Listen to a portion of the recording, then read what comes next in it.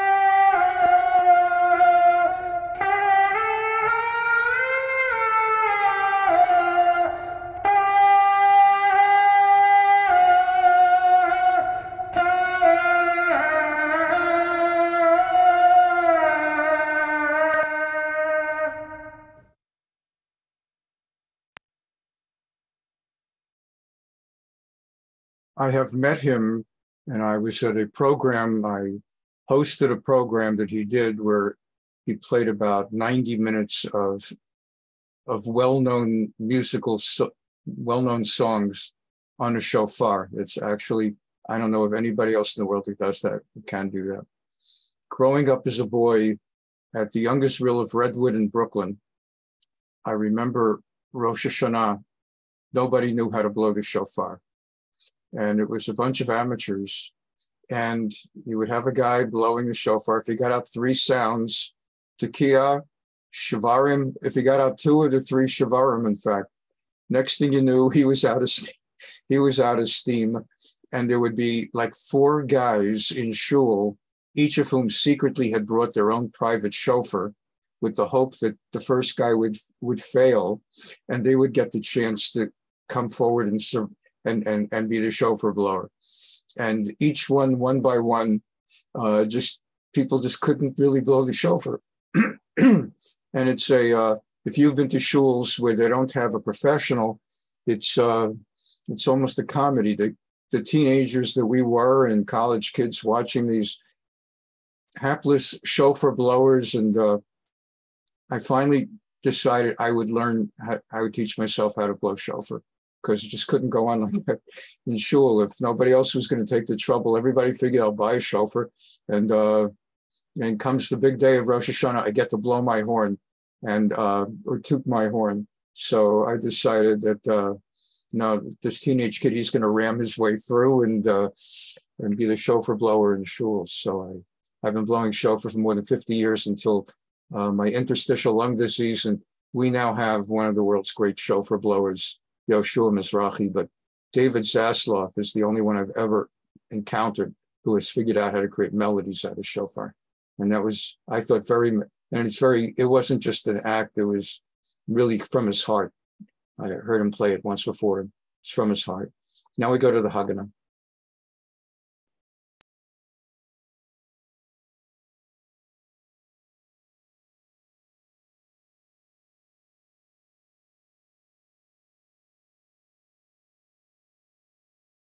I going? Get that going? Okay.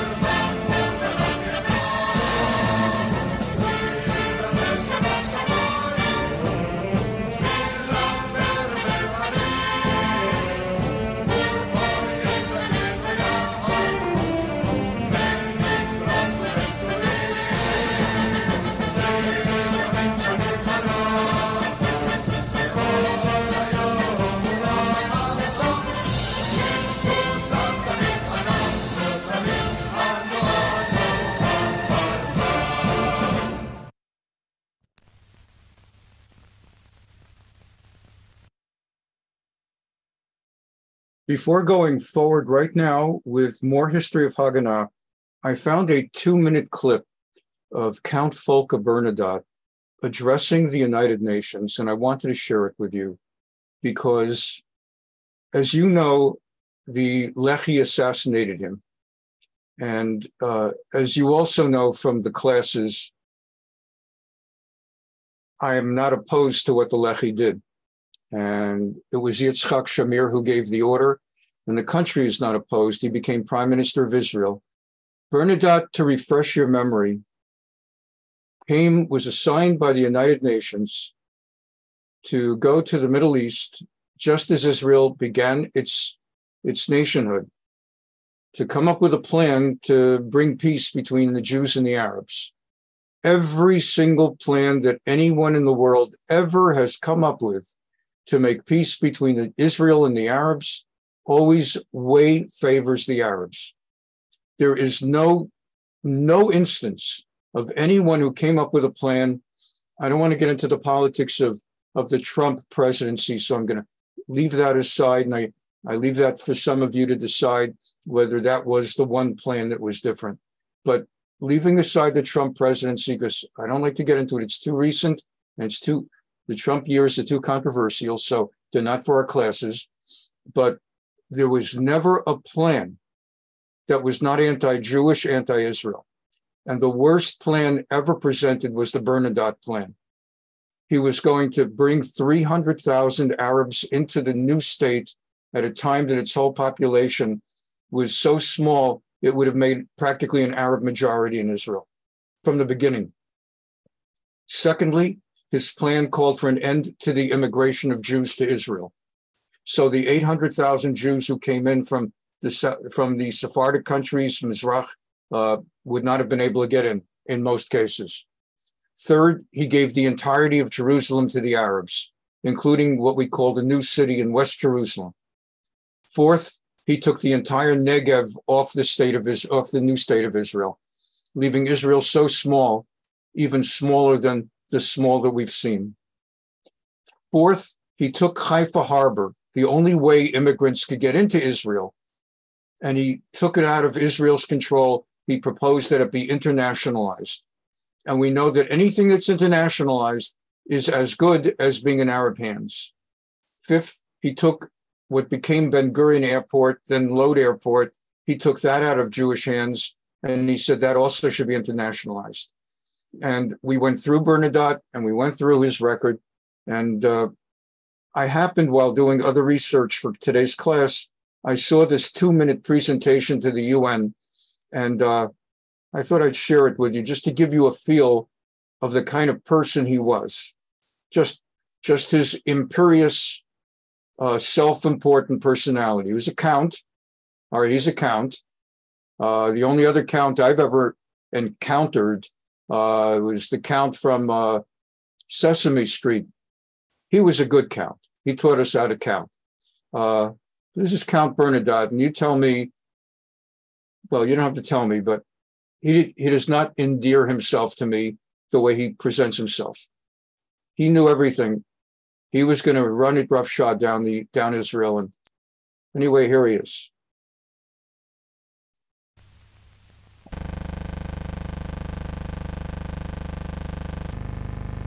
Again, this is his report on Palestine. I think that every possibility has been exhausted for voluntarily agreement between the parties not to resume hostilities unless the Arab attitude will be changed. The hostilities which resumed the 9th of July cannot, according to my opinion, be stopped through voluntary agreement.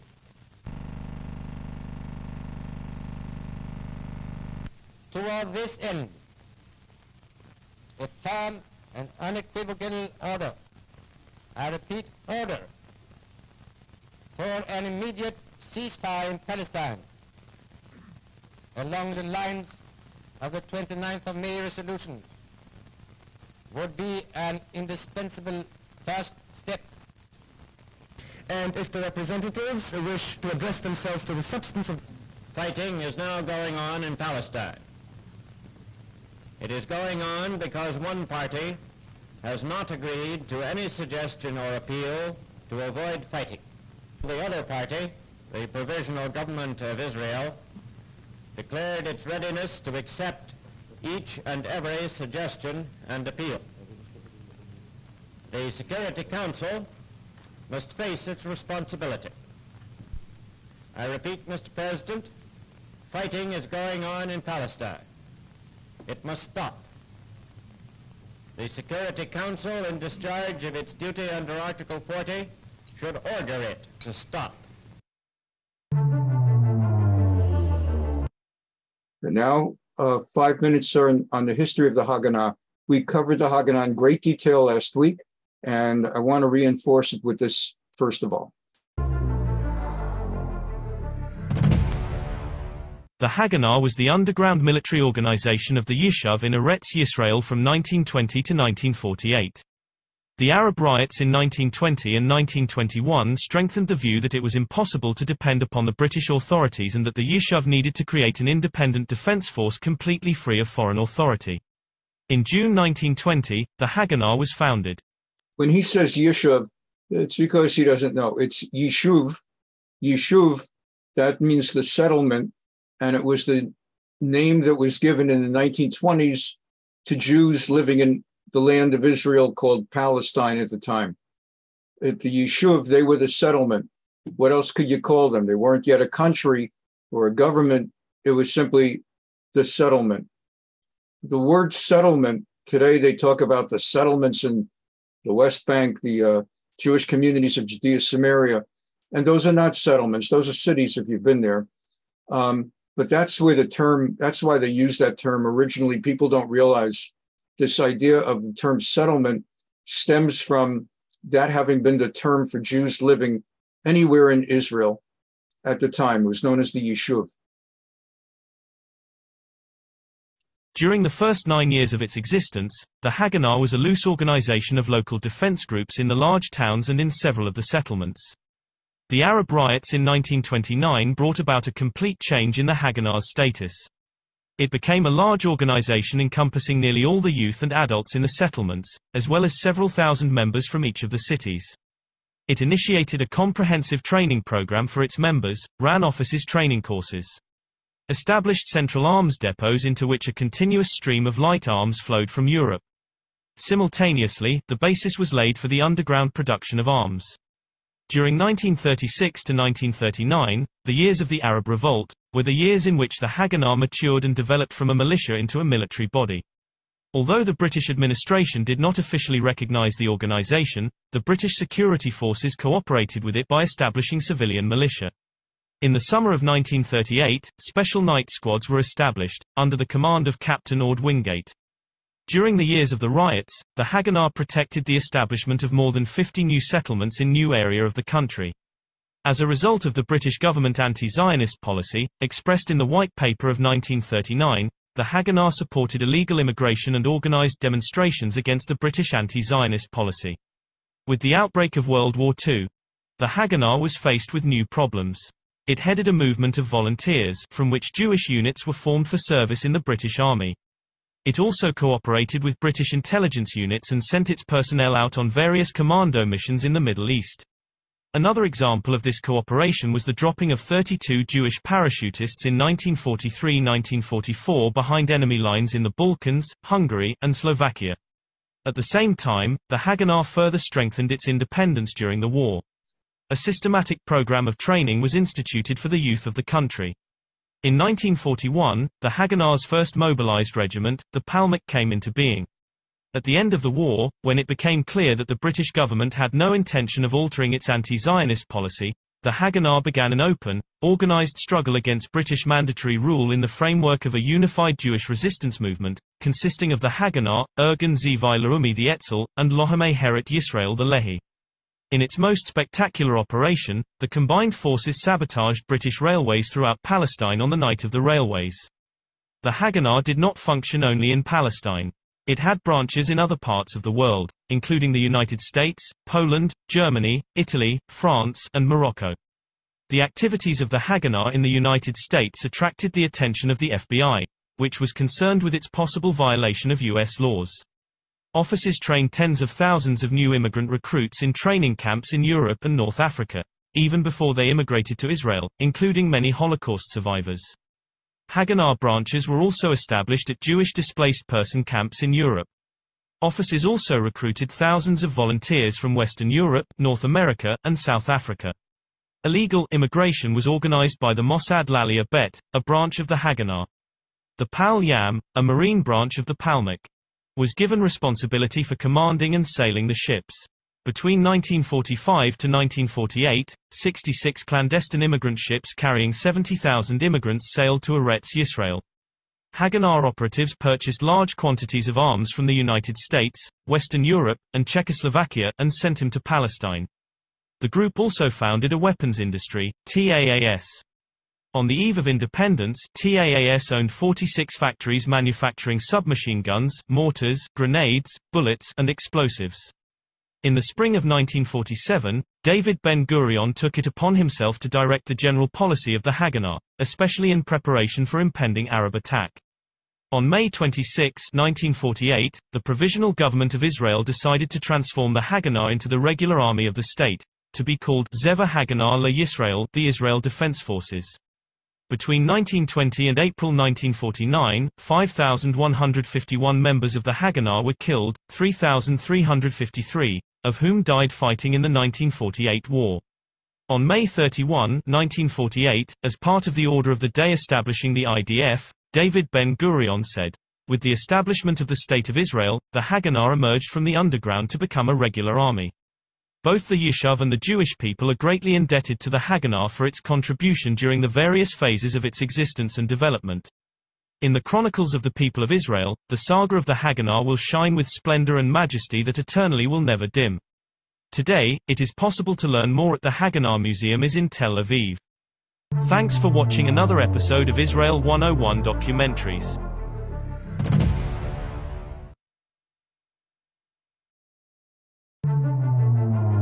The next is an is a brief three minute or four minute interview with someone who was in the Haganah.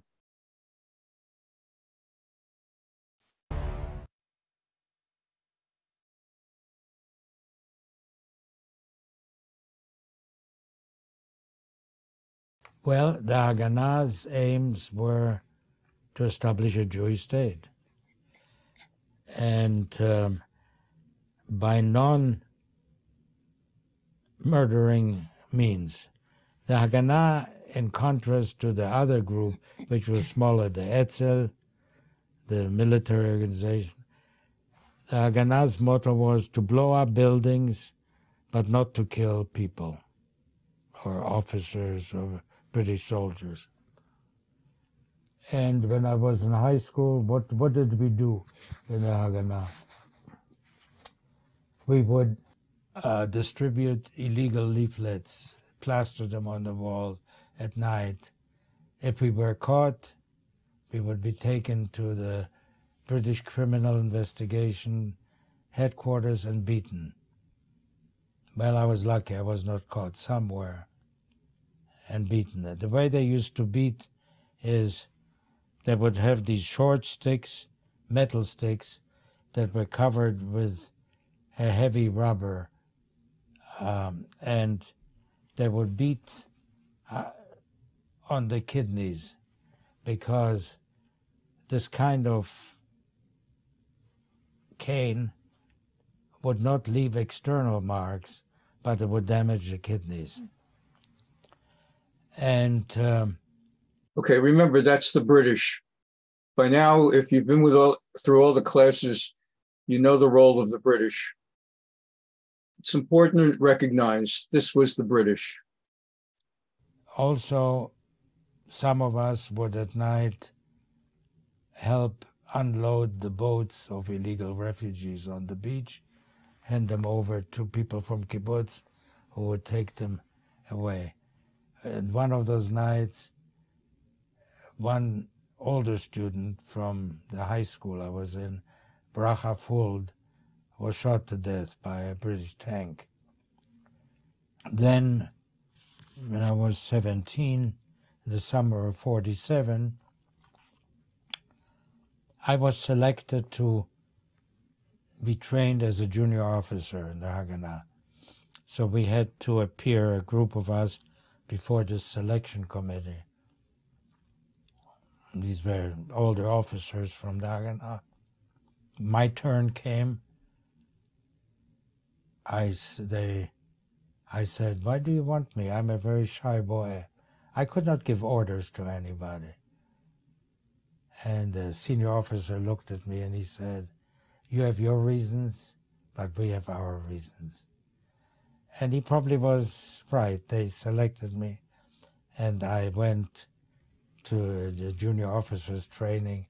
It was in the valley of Israel, in a kibbutz, and that's why I met Esther Alpern. And uh, in my later career, I was always a leader of people.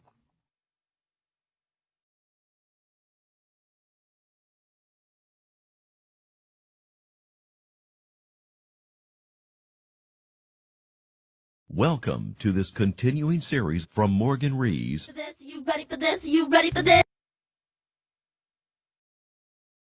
We're talking about how the Haganah created factories to create weapons. Um, can't fight without bullets and rifles and guns and hand grenades. And the British weren't giving them over. And you may recall from the previous classes, Poland was giving us a ton of stuff. Poland was arming the Irgun, the Lehi, and the Haganah, all three, training people, because Poland, before Hitler took it in 1939, they had a single purpose. They wanted to get rid of the Jews. And their approach to getting rid of the Jews was help the Jews build the Jewish state so we could then kick all of the Jews of Poland out of the country into the Jewish state and they played a tremendous, tremendous role in helping build the three undergrounds that fought the uh, British, the Haganah, the Irgun, and the Lehi. Um, but Hitler took Poland, and that was the end of that. Eventually, they had to come up with their own weapons.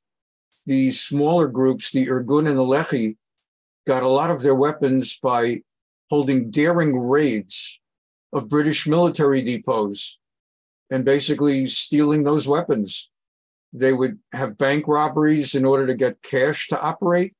And then they had to go, that's how an underground works. And then they went into British police offices and uh, stations and, and depots, and they and they had to risk their lives to steal the weapons.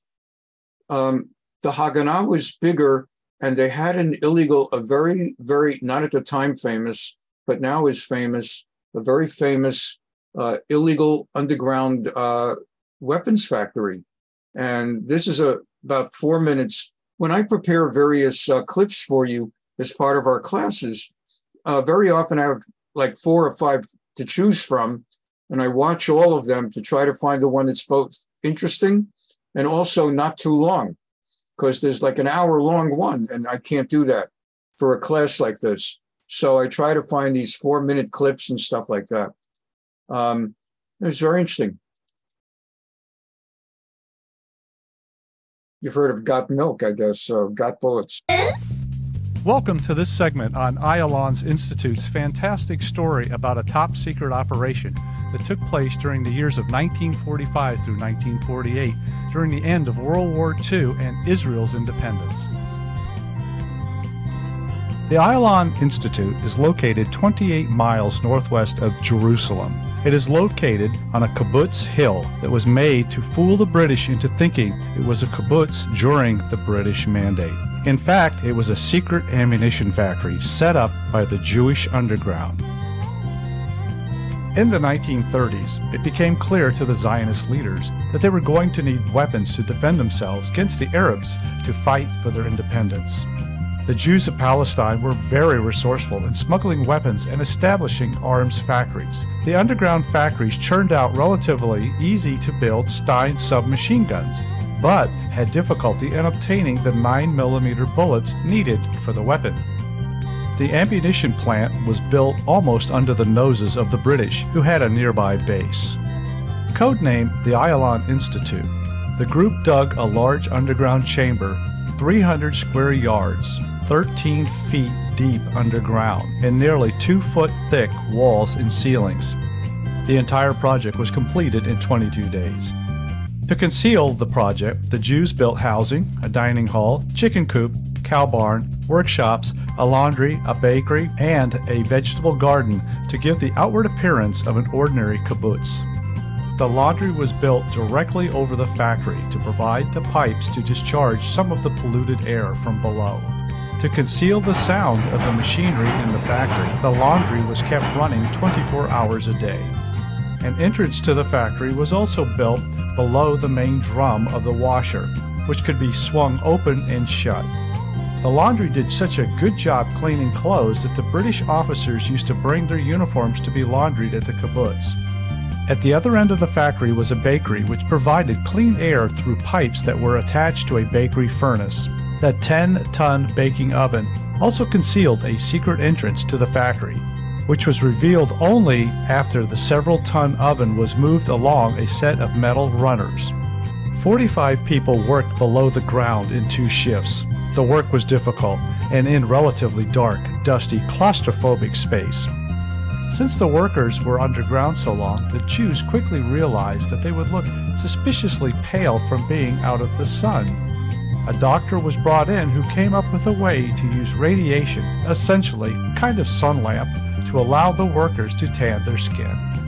After the ammunition was produced, the Jews still had to find a way to smuggle it out to the fighters.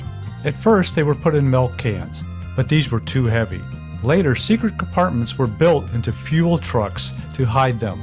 Since the British didn't expect anything as explosive as bullets to be hidden in a fuel truck, the factory was kept secret, even from some members of the kibbutz, who were referred to as giraffes. Was only after they were considered trustworthy that the members were informed of the operation. At its peak, the factory produced 40,000 bullets a day. Between 1945 and 1948, the factory produced more than 2 million 9mm bullets. This ammunition was crucial to the early success of the Jewish fighters. Although it ceased operations in 1948, it only became known to the public in 1975. In 1987, the Ayalon Institute site was declared a National Historic Site and October of that year, the museum was open to the public. Until next time, see you. If you'd like to learn more about these important concepts or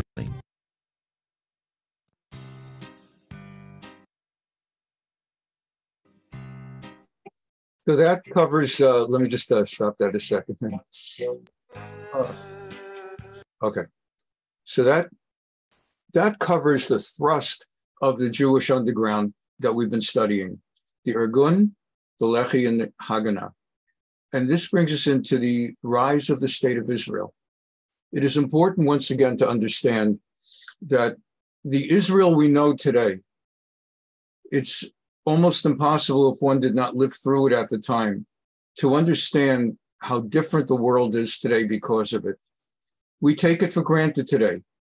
Jews argue about it today. A lot of Jews very um, almost arrogantly, everybody's got an opinion for Israel. And well, this one will say, I don't support, I'm not, I'm angry at Israel because of this, or I don't support Israel because of this. People forget what it was like in the 1930s, 1940s, when there was no Israel. At most, there were Jews in the Yishuv, and there was an effort to defend lives and to try to see what could be done. The British wouldn't let Jews in. And Jewish life could not have been more precarious. And it also gives a little bit more insight, if not really completely a good re, a good defense of why American Jews were quiet comparatively during the Holocaust, why there were not demonstrations, political demonstrations, why American Jews did not do more for Jews overseas during the Holocaust, why American Jews were quiet when the SS St. Louis, the voyage of the damned, came to so close to Florida when it went to Havana, Cuba, and they wouldn't let the Jews in from Germany and everything. a part of the reason Jews were so quiet is that Jews were very scared. Um, and it was a kind of a state of affairs for Jews that had been going on for 2,000 years.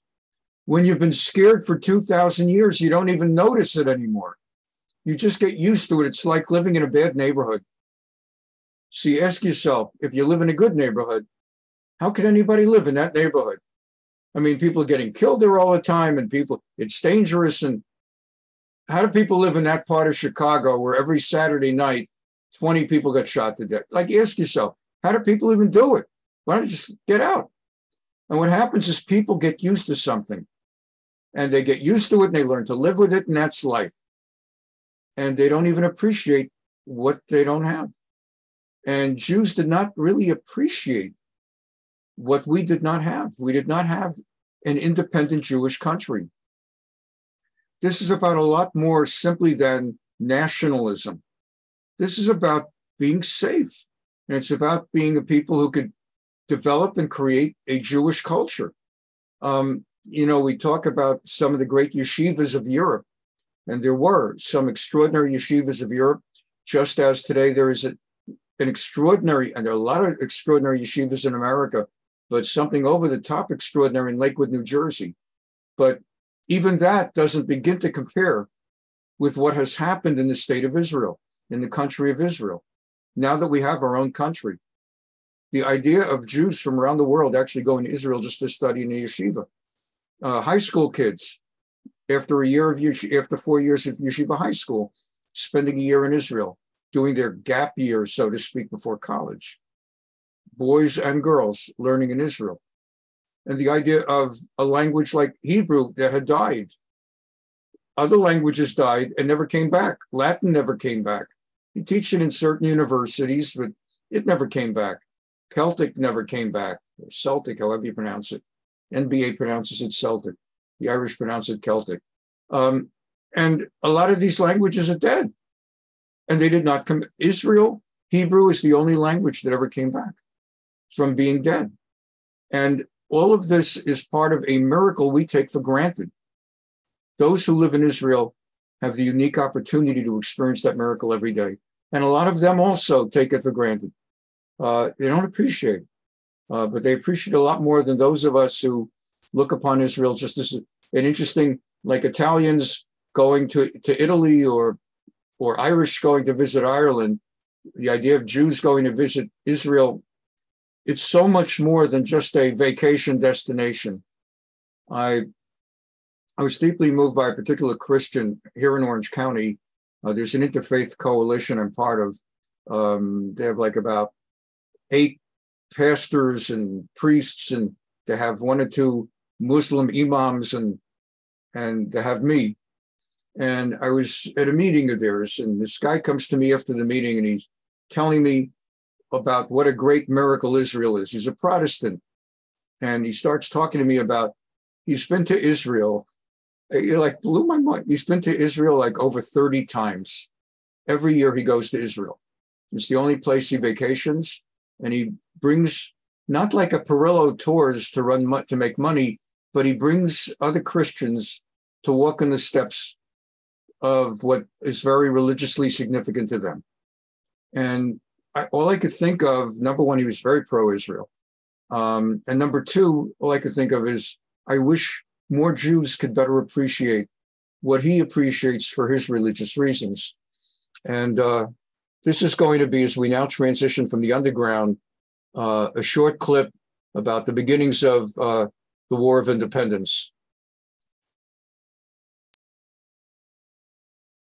The vote to approve partition by the United Nations was met with almost universal joy in the land of Israel. A dream had almost been achieved.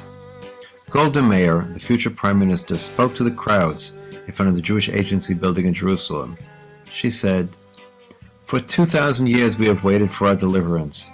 Now that it is here, it is so great and wonderful it surpasses human words. Jews, Mazel Tov.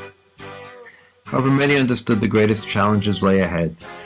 David Shaltiel, the commander of the Haganah, understood it well when he wrote in his diary the night of the 29th, after the partition vote. None of us knows what might happen tomorrow. The next day, a Jaffa based band attacked the bus with Jewish passengers. On December 5th, the British cabinet announced that they would pull out all of their troops from the country by May 15th, and that in the interim, they would be neutral in the fight between Arabs and Jews. By and large, they followed that dictum, although both sides claimed that they were biased to the other side. During December, many mixed areas exchanged populations, and demarcation lines became clear. It is estimated that during this period 100,000 Arabs left the country, or left their homes in the mixed towns and went back to their ancestral villages. At the beginning of January, members of the Arab Liberation Army, which was comprised primarily of Arabs living in the Mandate who had been trained by surrounding Arab states, entered the country without British interference. On January 10th, they attacked the settlement of Kfar Szold, but they were repulsed. Jewish settlements throughout the country were isolated, and major efforts had to be expended to resupply them. Even Jerusalem could only be resupplied at a great cost. One of the most famous and tragic situations occurred in the effort to send reinforcement to the settlement of Kfar Etzion near Jerusalem, which had been cut off from Jewish forces. A platoon of 35 soldiers was sent by foot to reinforce the Etzion settlements. The force was discovered along the way and ambushed. All 35 soldiers were killed. The force became known as the Lamed Hay, for 35 in Hebrew. By March, the tide of the battle seemed to be turning against the Jews.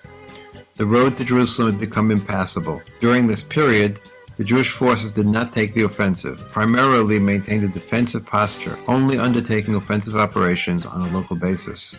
As a result of these military setbacks, the United States began to waver in its support of the partition plan. The United States UN ambassador, was seemingly acting without the approval of President Truman, called for a delay in the partition plan and instead placed the mandate on the United Nations trusteeship. With the situation deteriorating, Ben Gurion demanded the army move to the offensive open the road to Jerusalem. This became possible thanks to successful smuggling of large quantities of small arms into the country. For the first time, the troops did not have to share rifles and machine guns. The first major offensive was called Operation Nachshon. The purpose of the operation was to capture a corridor along the road to Jerusalem and thus secure this route. The major effort along the road was the fight for the Castel, which the Haganah won after a fierce battle on April 10th. During the battle, Abd al-Qadir Husseini, the Mufti military leader, was killed. This effectively ended the involvement of the Mufti's forces in the war. Capture of the Castel was, however, only one of the objectives. The goals were to capture all of the Arab villages that had been used as bases for fighters to attack the convoys to Jerusalem. Those villages were quickly captured, but it was a period of extreme brutality on both sides, with civilian deaths to both Jews and Arabs. In the north, the Arab Liberation Army began a concentrated assault on Mishmar HaEmek. It was defeated. The forces were then forced to withdraw to Jenin. The defeat destroyed the morale of the Arab villages in the area, and soon most of the inhabitants began to flee. In mid-April, Haganah launched Operation Yiftach, whose goal was the liberation of the Upper Galilee. On April 18th, the Palmach captured Tiberias. On April 21st, as British forces withdrew from the city of Haifa proper to concentrate their remaining forces in the port area, a brief battle for the city ensued, and was quickly won by the Haganah. By May 10th, the Arab parts of Safad were captured, and on May 16th, Akka was also captured. On May 13th, Jaffa was captured. On the Jerusalem front, the Palmach successfully seized most of the major British installations in Jerusalem. However, on May 14th, the Etzion bloc fell to the attackers from the Arab Legion. The period leading up to independence was one of successful consolidations. All of the areas allotted to the Jewish state in the Galilee were firmly under Jewish control, as well as some of the areas that were to have been part of the Arab state. The coastal plain was secure, as was Jewish Jerusalem. The major areas of concern remained the road to Jerusalem, as well as many of the isolated settlements in the south.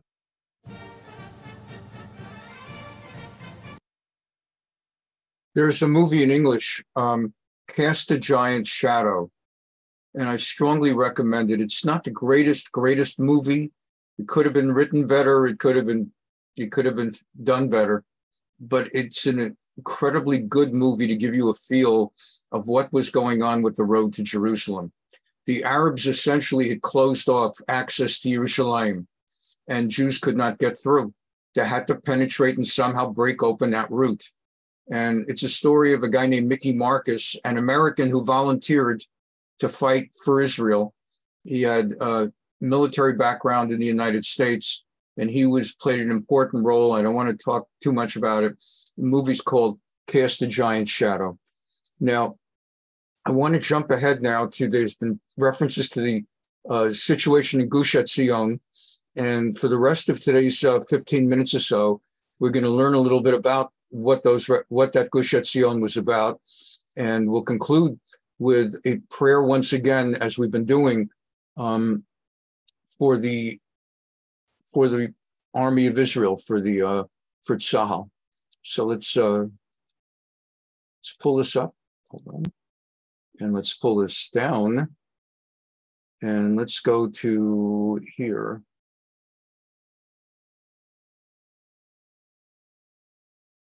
Gush Etzion, the symbol of return and of an eternal bond between the Jewish people and their homeland. In the early 1930s, the JNF purchases land in Gush Etzion. In 1943, after attempts to settle the area, the Kvutzat Avraham pioneers settle in Gush Etzion. In 1948, the group expands and comprises 160 people. 60 of them are children. At the outbreak of the War of Independence, attacks begin on Gush Etzion. On January 1, 1948, after painful casualties, a decision is made to transfer the women and children to Jerusalem. On May the 13th, 1948, one day before the declaration of the State of Israel, Gush Etzion falls. For 19 years, between 1948 and 1967, the orphans of Kibbutz Kfar Etzion remained faithful to the memory of their destroyed homes. At every opportunity, they would gather together on the Judean hilltops and gaze from a distance with yearning.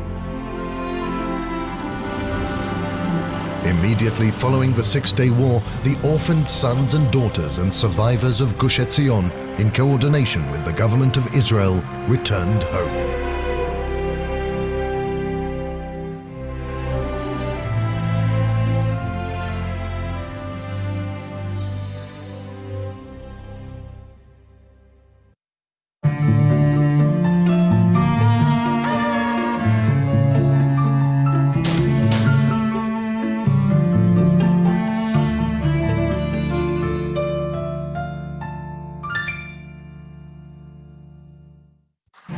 Between 1943 and 1947, four kibbutzim were established in Gush Etzion, the Etzion block, on land purchased by the Jewish National Fund and private Jewish businessmen. Located on the road between Jerusalem and Hebron, these new farming communities served to bolster Jerusalem from the south. חיינו באמת בשלום עם שכנינו הערבים. אנחנו היינו באים לבקר אותם, הם היו באים לבקר אותנו. היינו אפילו נוסעים באוטובוס ערבי שהיה יוצא משער יפו לחברון, היינו יורדים באמצע הדרך. On November 29, 1947, the United Nations voted that with the termination of the British Mandate, Palestine would be partitioned between its Arab and Jewish residents. The Etzion bloc fell within the borders of the proposed Arab state. The very next day, local Arab militants began attacking Jewish settlements, including the Etzion bloc. הכוונה הערבית באופן עקרוני היא למנוע את הקמת מדינת ישראל. והסוכנות בן גוריון כנראה חזו לעתיד שוודאי תפרוט מלחמה במשך הזמן, וירושלים צריכה להיות גם מאובטחת מצד דרום. At dawn on January 14, 1948, hundreds of Arabs under the command of Abd al-Qadir Husseini attacked the Etzion bloc communities. It's the largest battle yet in Israel's War of Independence. בשעות אחר הצהריים החליטה המפקדה לצאת להתקפת נגד.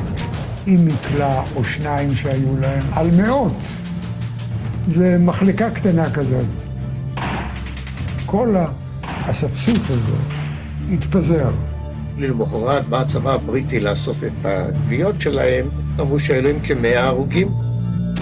אי אפשר היה להפחיד אותם. היו, היינו אומרים מסוכן מדי, אבל לפחוד, לחשוש? While they succeed in defending the Etzion bloc, the Jewish fighters find themselves dangerously low on ammunition and without medical supplies to treat the wounded. אין ספק שהידיעות שהגיעו מכפר עציון היו מאוד קשות, והצורך במתן עזרה היה בהחלט אה, אקוטי. Husseini's men control the only road into the block. The Haganah decides to send former Etzion block commander Dani Mas with reinforcements by foot to Kfar Etzion to replenish its arsenal and medical supplies. Forty men are recruited. קיבלנו הודעה, אני לא זוכר את הפרטים, שאנחנו נוסעים לכפר עציון.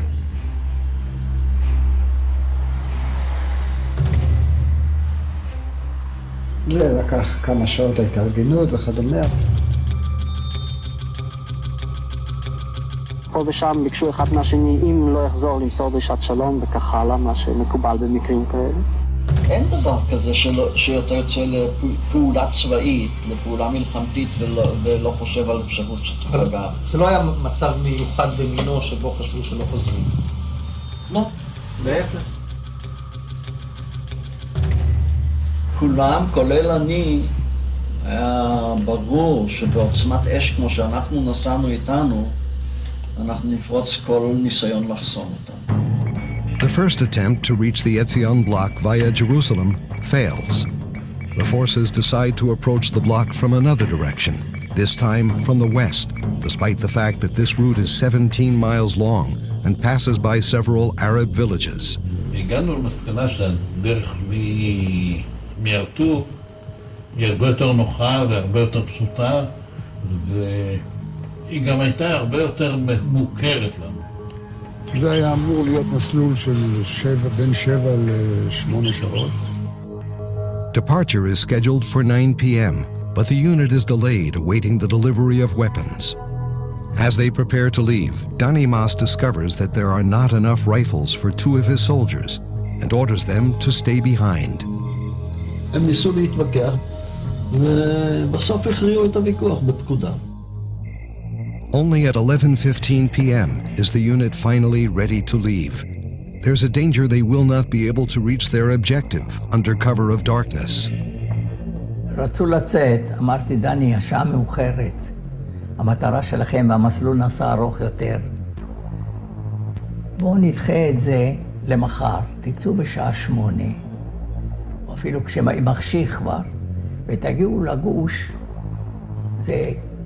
כמו בחושך, לא באור. ברגע שנגמר הלילה, וה... ומספיק מספר קטן מאוד של צלפים שאנחנו לא יכולים לזוז. אמרתי לדני, אתה יודע מה, אתה נמצא בשטח השיפוט שלי, אני פוקד עליך, להישאר הלילה פה. התחיל לצחוק. אמר לי, בכוח תוכל להחזיק אותי. הוא פחד לגורלו של כפר עציון.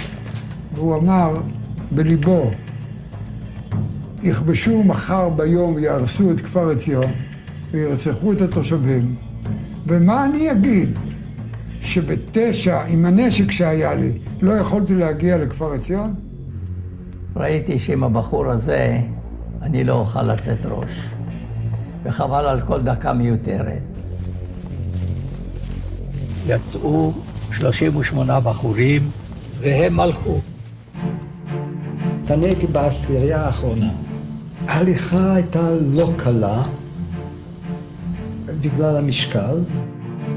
באחד הקטעים בדרך אני החלקתי על אבן או סלע ונקעה לי הרגל הימנית.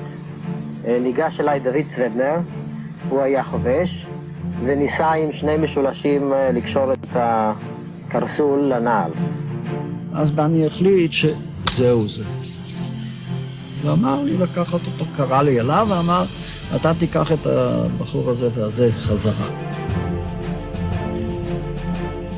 התגובה שלי הייתה, למה דווקא אני, במילים אחרות, אבל למה דווקא אני? אז הוא הסביר לי, כי זו פקודה. האמת היא שפחדתי. אני חושב שגם האחרים פחדו. גם אורי וגם ישראל, אבל אני פחדתי. כי הרגשתי יותר בטוח עם הקבוצה, עם המחלקה. אורי גביש ומשה חזן, יחד איתי אנחנו חזרנו להרטוב. המחלקה למעשה דאגה יותר לנו מאשר לעצמה. באותו לילה אני, חצי הלילה, אני שמרתי וחיכיתי להם שיבואו. לקחתי כמה אנשים והלכנו לקראתם איזה כמה קילומטרים. אני כל הלילה אותתתי להם הפרוז'קטור לכיוון המערב, כדי שתהיה להם אוריינטציה לאן לבוא. וכבר העיר הבוקר, ועדיין חיכינו להם, וחיכינו וחיכינו, ולא כלום. אני הרכבתי את האוזניות, ואני שומע צהלות שמחה בערבית. דבחנאהם, מטלנאהם, הרגנו אותם, שחטנו אותם, ערפנו אותם. יא ליל, יא ליל, איזה זה, ומברוק, וברכות, ומדווחים למפקדה. אז אני יורד למטה, מפקד המחוז, אני אומר לו, תשמע, מה, משהו קורה באזור הזה, בית בגוש עציון, בשעה כזאת, מה, מה קורה שם? הם צוהלים שנהרגו, הם הרגו לנו שם. אומרים עשרות, עשרות. אוי ואבוי, אומר. אני פוחד שזו המחלקה של הסטודנטים שלנו. אף אחד לא ידע בדיוק מי הרג, מי נהרג, כמה נהרגו. כולם, חלק. יצאנו במטוס, כאשר הגענו לסביבות אה, הכפר הערבי סורית, ראינו אה, ריכוז גדול של, גם של אנשים וגם של כלי רכב. הרחקנו מעל השטח והבחנו באופן מוחלט במספר די גדול של אמבולנסים של הצבא הבריטי, שכנראה הובא למקום, והבנו שקרה משהו למחלקה. Piecing events together from the testimony of Arab witnesses, it seems that the platoon encountered two Arab women gathering wood at daybreak and decided to let them go. The women returned to their village and raised the alarm. Just a few miles from the Etzion block, Arab forces surrounded the 35 Jewish fighters. כשעלו אל ההר, דבר ראשון הם התבצרו בצורת קשת מסביב לגבעה. كل أربع خمس إنتاج واحد عند طوابي هيك حجار هو قاعد هون שגלי אבנים משמשים להם עמדות. הערבים התקיפו אותם תחילה מצד דרום. אני זוכר ששמענו כמה יריות בודדות מרחוק מאוד, שזה לא היה יוצא דופן. תגבורת זאת באה מהכפרים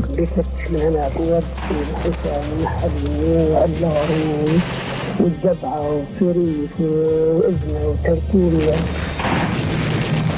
ובתולה.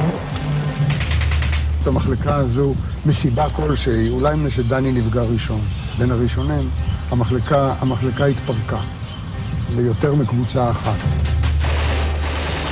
הקרב נמשך משעות הבוקר עד לשעה ארבע. לגייס ארבעה בעד ועם ערב הנותרים, עשרה אחת עשר איש, ניסו לנטוש את הגבעה ולסגת לכיוון הרטוב. آية ובדומים ينفذوا ובדומים مع الواد يعاودوا غزة אולם בטרם הפסיקו לרדת, נפגעו ונהרגו. קטלו. אחד השייחים, שייח אברהים קראו לו, מג'אבה, שהוא בעצמו השתתף בקרב נגד הל"ה. אם נגזר עליי למות, הוא אומר, אני מעדיף למות כמו שמתי גבורים אלו. למה? מפני שגם כשנגמרה להם התחמושת, הם עוד ניסו להגן על עצמם באבנים, כי מצאו כמה הרוגים עם אבנים בידיים. When British Police Superintendent Hamish Dugan arrived from Hebron after the battle, he gathered the 35 bodies and brought them for burial in Kfar Etzion. הגיע דוג'ן לכפר עציון ושאל את אנשי כפר עציון אם הם מוכנים לקבור 35 גוויות שנפלו בשטח. שני חברים, שני חברי כפר עציון עולים על המכוניות, רואים מה שמתרחש כאן, אחד כמעט מתעלף, יורדים למטה, אנחנו לא, לא בשביל הלב שלנו. אז אמרתי, אני עולה, לקחתי עוד חבר אחד, אני אוריד אותם. רק ביקשתי דבר אחד, שיכבו את כל האורות, שיהיה חושך. פירקנו את המשאית וסידרנו את הגופות בבית הכנסת. וניסינו, היו חלקים אה, מפוזרים, ידיים, רגליים, ראש אחד. הבינונו את מצבנו האמיתי. והבינונו מה צפוי לנו כשהם ינצחו אותנו. ראינו באיזה מצב הביאו אותנו. זאת אבל זה משהו איום ונורא.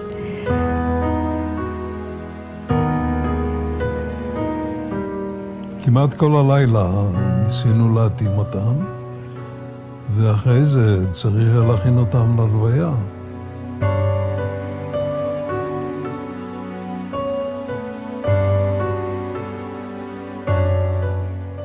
קיבלנו רשות מהבריטים לנסוע להלוויה.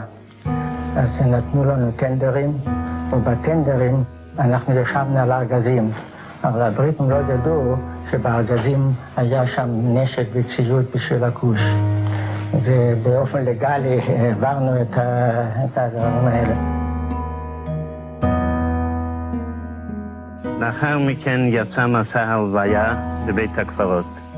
עמדה כאן מחלקה של החברים שלהם מיחידות הפלמ"ח והחיש וירו אלומות אש. המחלקה הזאת, לולא הייתה נהרגת, נרצחת, מתוכה היית מוצא ראש ממשלה, שר חוץ, ראש כנסת, רמטכ"ל, את הכל הייתה בקבוצה הזאת של 35 איש, אבדה נוראה.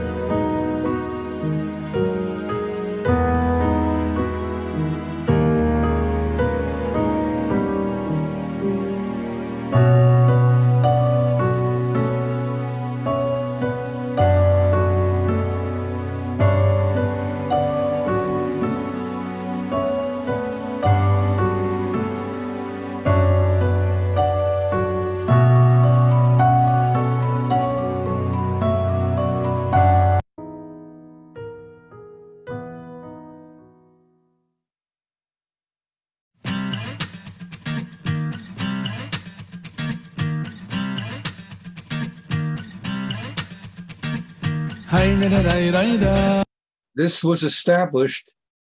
it fell in 1948.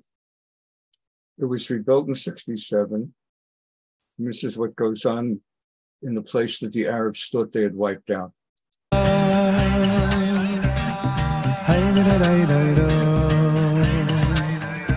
Walking into the beis Medrash Gush is like walking into a massive hall of incredible Talmud Torah and there are hundreds and hundreds of voices all speaking at once. And everyone's engaged, everyone's yelling, people are yelling. The beis medrash is hopping, and you essentially enter this cacophony. That's not a cacophony, but it's a symphony.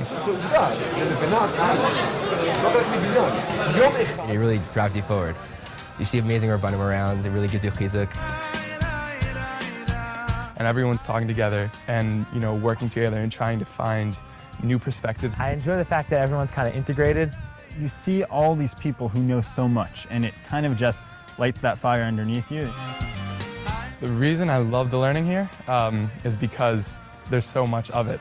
And there's such a breadth of, of, options to choose from. You have Tanakh, you have Machshava. and every single option, you're learning from a world-class authority on the subject.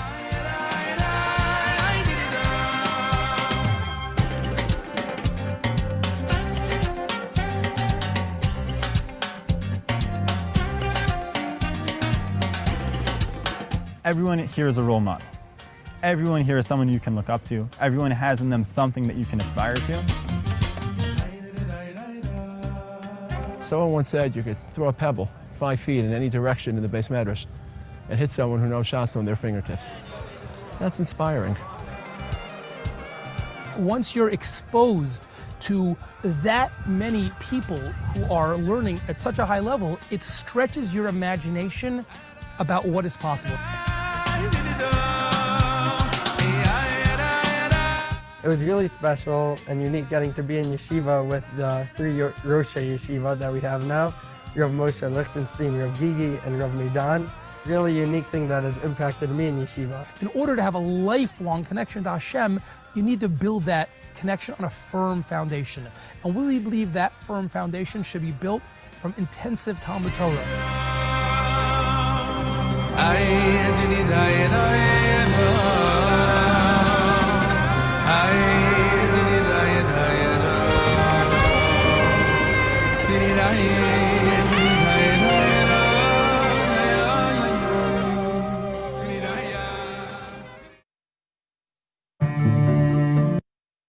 And we're going to close today with, as we have been doing, with a prayer for the arm for the armed forces, for the Tzahal, the Mishaberach for the army.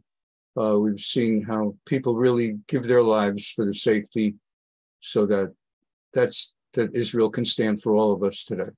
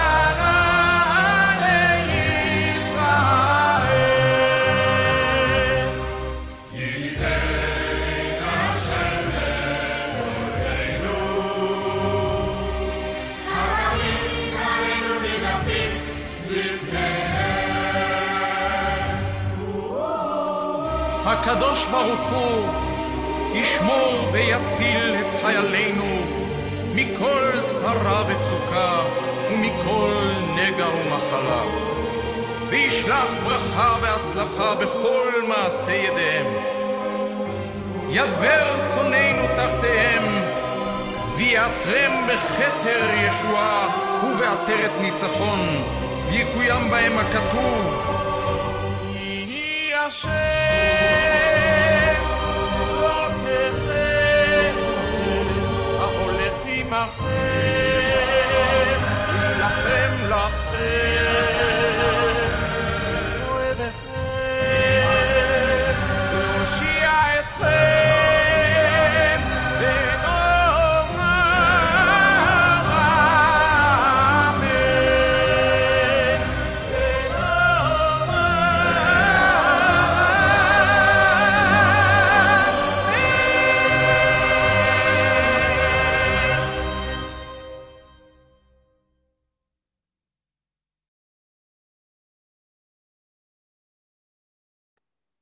thank you very much for being with us today. Uh, as we've gone now into the rise of the state of Israel, God willing, next week we'll continue with this.